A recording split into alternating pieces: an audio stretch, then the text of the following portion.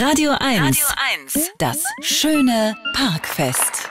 Ja, ich habe äh, vorhin mit Marion auch schon drüber gesprochen, dass du auch letztes Jahr schon oder ich auch letztes Jahr schon da war und ich sowieso sehr, sehr beeindruckt bin jetzt auch, wie voll es ist. Das muss man echt mal, es ist wirklich extrem voll. Wir haben es Montagabend äh, und eigentlich eine ganz normale Sendung und es sind sehr, sehr, sehr viele Leute da und ich bin ja ein Freund der, von Traditionen auch. Dass er sagt, ja, es ist jetzt das zweite Mal und es wird so eine kleine Tradition mit diesem Parkfest und bei diesen Traditionen dann auch gerne so ein bisschen historisch, sentimental auch werde und überlegt habe, wie war das denn letztes Jahr eigentlich? Worum ging es? Und einfach auch geguckt habe, was habe ich letztes Jahr gemacht, damit man sich auch erinnern kann, was war eigentlich letztes Jahr um diese Zeit so wichtig? Was hat, und ich weiß gar nicht, ob sich der eine oder andere noch daran erinnert, ich habe dann gesehen, letztes Jahr äh, zu dieser Zeit war sehr wichtig und habe ich auch eine Geschichte gemacht ähm, zum äh, Flughafen. Äh, das war nämlich ähm, da, da, gewesen, die, die, die, Eröffnung war geplatzt. Die wollten ja den, den Flughafen Berlin-Schönefeld wollten sie eröffnen ähm, und das war dann gar nicht. Ähm, und oh, Riesengeschichte gewesen. Riesengeschichte gewesen. Ähm, ewig, nein, und, und auch jetzt. Also jetzt die, die Flughafenleitung hat ja gerade gesagt, sie würden jetzt gerne eröffnen im Herbst 2014, ähm, wo aber Siemens und andere auch schon gesagt haben, ähm, maximal 2015, vielleicht auch 2016 oder vielleicht verstehen wir es auf 2017 oder vielleicht auch auf Leipzig. Ähm, Wobei ich, ich persönlich ja eigentlich jemand bin, der immer, immer auch gesagt hat, auch damals schon. Und das, das habe ich eben auch, an sich habe ich Verständnis, eben ähm, auch für die Flughafenbauer gehabt, die, die ganze Zeit. Weil ich muss ganz ehrlich sagen, wenn ich diesen Flughafen hätte bauen müssen, mir hätte das auch passieren können. Ganz ehrlich. Das ist, wenn ich Sachen baue, das ist auch oft nicht pünktlich fertig. Und, und auch oft, da ist nicht immer alles tipptopp und ideal und schön und so. Das, das ist ganz schnell, dass bei mir da auch was schief geht. Und ich fand eigentlich die Art und Weise, wie sie damals damit umgegangen sind, das fand ich sehr schön. Auch sehr, sehr umsichtig. Das hat mich auch sehr an mich erinnert. Ähm, weil doch, weil es war ja alles fertig, es war alles vorbereitet. Also jetzt für die Eröffnung, als es da im Sommer 2012 eröffnet werden sollte, es waren alle Einladungen, waren verschickt, Catering, Hüpfburgen, war alles gemacht, alles war, also außer dem Flughafen, aber... Aber sonst war alles fertig, alles gemacht, alles schön. Und dann, dass sie trotzdem, obwohl alles schon vorbereitet war, trotzdem dann noch mal kurz bevor es losgeht gesagt haben, Moment. Jetzt lass noch mal in Ruhe gucken, haben wir auch wirklich alles.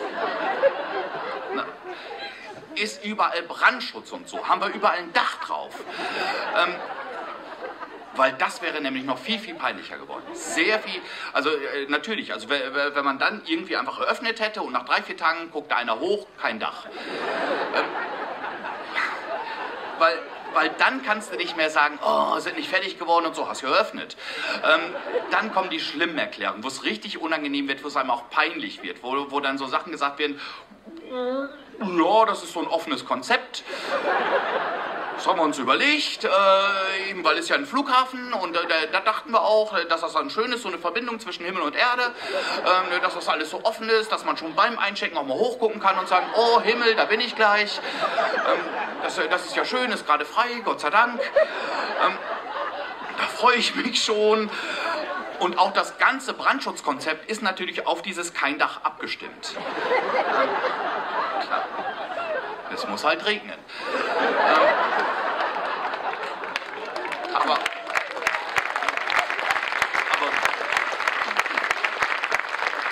dann hätte es ohne weiteres abgenommen werden können, also hätte gut an den Start gehen können. Ähm, nein, und, und deshalb war ich, ich, ich gehörte immer zu den Leuten. Ich habe das ganze Jahr über eigentlich immer gesagt, lass die Mann. Die sind mit dem Herzen dabei. Die bauen ja auch. Und das wird schon. Das, lass, gib ihnen doch ein bisschen Zeit. Es muss nicht immer alles hopp, hopp und so. Und irgendwann wird irgendwo irgendwie irgendwas eröffnet werden. Es ist noch immer irgendwann irgendwo irgendwas eröffnet worden. Bis zum Frühjahr. Bis dies Jahr Frühjahr, ähm, als auf einmal die Meldung kam, dass äh, der neue Flughafenchef Hartmut Medorn. Das war für mich dann auch der Moment, wo ich dachte, oh, sie haben aufgegeben.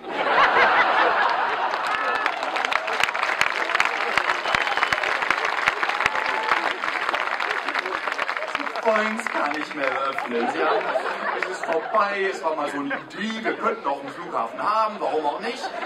Ähm, aber nein, Quatsch. Natürlich auch, auch mit Medon. Es, ist, äh, es verschafft ihnen halt nur Zeit und eben, irgendwann werden sie irgendwo irgendwas eröffnen. Bestimmt, garantiert. Da bin ich fest von über.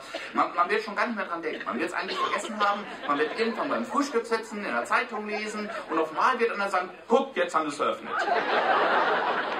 Was haben sie eröffnet? Hier, der Flughafen, zack, jetzt ist eröffnet. Welcher Flughafen? Na, der Flughafen, weißt du doch, hat Opa doch immer von erzählt.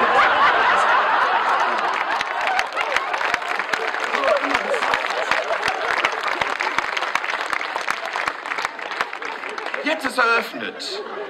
Ach, der Flughafen. Ach so. Ja, und machen Sie das mit den Flugzeugen denn jetzt auch wieder und so? Ich meine, das ist ja doch eher eine Technologie aus dem letzten Jahrhundert, ne? So, nee, das machen Sie nicht mehr. Das wäre umwelttechnisch völliger Wahnsinn, da wieder mit dem Flugzeug. Nein, nein, das werden Sie nicht anfangen. Nee, das ist jetzt direkt Museum. Also da haben Sie, da waren Sie jetzt wirklich mal schnell. Direkt bei der Öffnung und das muss ich ganz ehrlich sagen, wäre eigentlich eine Möglichkeit, das würde ich auch heute schon sehen. Das könnte man eigentlich auch heute schon sehr, sehr schön machen, ähm, da ein Museum draus, weil es, es gibt so viel zu sehen dort. So viel auch, was, was mich persönlich interessieren würde.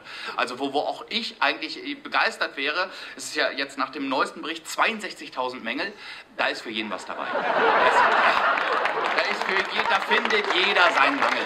Und äh, wo, wo er sich auch, also mein persönlicher Lieblingsmangel ist ja, ich weiß nicht, wer es merkt, das sind nach wie vor diese Rolltreppen. Diese, die finde ich sehr, sehr, sehr schön. Es gibt wohl zwischen den einzelnen äh, Stockwerken, da im Abfertigungsgebäude, gibt es wohl tatsächlich Rolltreppen, die sind zu kurz.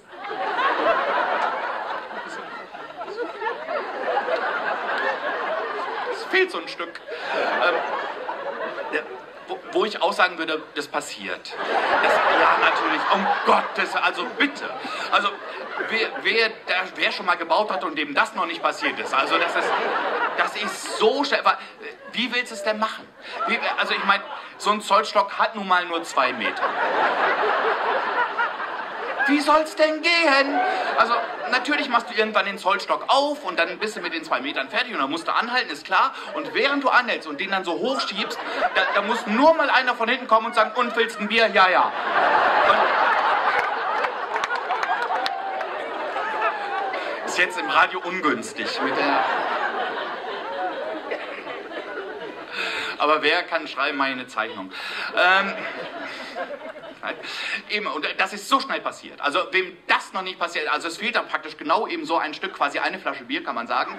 Ähm, und wem das noch nicht passiert ist, der wäre für die erste Rolltreppe. Also beim besten Willen, ganz, ganz. Und da könnte man wirklich schön ein Museum draus machen. Ein, ein Museum, oder eben dieser andere, mein anderer Lieblingsmangel, dass ja die ganze Nacht das Licht brennt. Ähm, das, wo ich viele Freunde habe, die sagen, nö, soll, soll mich mal lassen, ich krieg das aus, sollst du mal sehen. Das aber, wobei das ist ja nicht das Ziel. Sie wollen es ja so ausmachen, dass sie es auch wieder anmachen können. Ähm, aber auch da, ich glaube, es wären viele Leute begeistert und würden gerne das mal versuchen. Also da könnte man auch eine Challenge draus machen, wo aus aller Welt Leute mit eigenen Schaltern kämen, um das Licht außen wieder anzumachen und so. Ähm, wo, wo man, man hätte quasi einen Mitmachflughafen, einen richtig schönen Mitmachflughafen, wo jeder ein bisschen mitmachen kann, ein bisschen wie so ein Kinderbauernhof.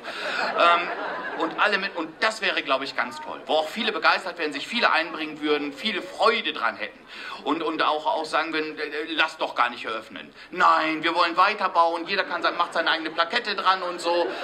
Also wo man eine vermeintliche Schwäche sehr schnell wieder in eine Stärke dann auch umbauen kann und dann auch im Umland, das ist ja so wichtig, im Umland wirklich eine große Sehenswürdigkeit über Jahre hätte.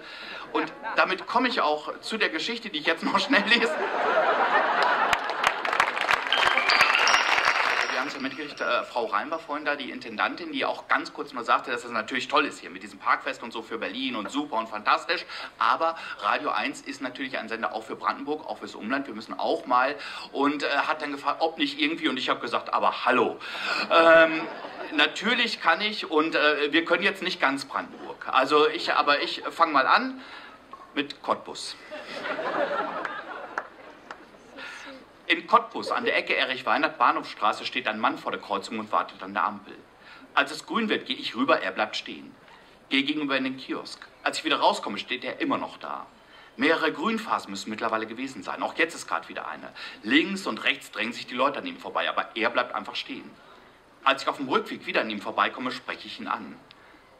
Entschuldigung, aber gibt es einen Grund, weshalb Sie nicht bei Grün die Straße überqueren? Er schaut mich erschrocken an, sagt, was nützt dem Wolf die Freiheit, wenn er das Schaf nicht fressen darf? Denke Gott, was frage ich auch?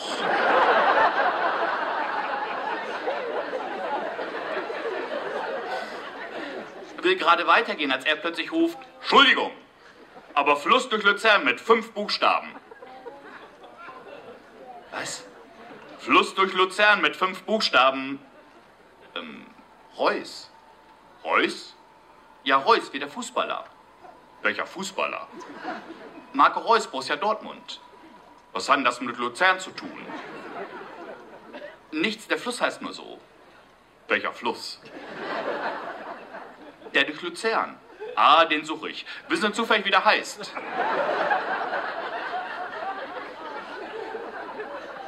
Reus. Wie der Fußballer. Ganz genau. Er holt ein Kreuzworträtsel raus. Schaut, sagt dann, nee, kann nicht sein. Das muss was mit fünf Buchstaben sein. Reus ist an sich mit fünf Buchstaben. Ja, aber nur, wenn man es auch so schreibt. Was? Außerdem haut das auch gar nicht hin. Das muss mit H anfangen. Er zeigt mir das Kurzworträtsel. Brauche einen kurzen Moment, aber dann erkenne ich das Problem. Ah, ah, oh ja, ich sehe schon. Das liegt daran, dass Sie bei männlicher Hase Haserich geschrieben haben. Es müsste aber Rammler heißen. Ah, ich weiß, aber ich schreibe nicht gern solche Worte. Bitte? Rammler schreibe ich nicht gerne, weiß ich nicht. Also, boah, komme ich mir komisch bei vor, unangenehm mir. Da schreibe ich lieber Aserich. Ja, aber dann ist verkehrt. Ja, das ist mir wert. Es wird grün. Er drückt mir plötzlich das Kreuzworträtsel in die Hand und rennt über die Kreuzung. Ich bleibe irritiert zurück. Es wird rot, dann grün, dann wieder rot. Jemand spricht mich an. Entschuldigung, aber gibt es einen Grund, weshalb Sie nicht bei Grün die Straße überqueren? Ich schaue erschrocken, sage, was nützt dem Wolf die Freiheit, wenn er das Schaf nicht fressen darf? Er lacht. Okay, kein Problem, der Fluss, der Fluss durch Luzern heißt Reus. Geben Sie mir einfach das Kreuzworträtsel, ich übernehme dann für Sie. Können Sie weiter, mir bestimmt auch viel um die Ohren. Gebe es Ihnen und gehe langsam wieder meines Weges. Als ich schon viele Meter weiter bin, höre ich plötzlich laut hinter mir rufen.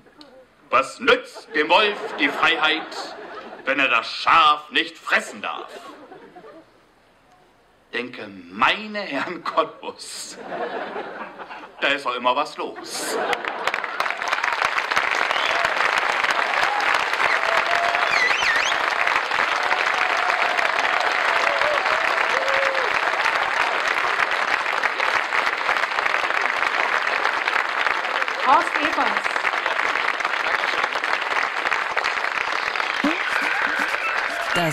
Radio 1 Parkfest.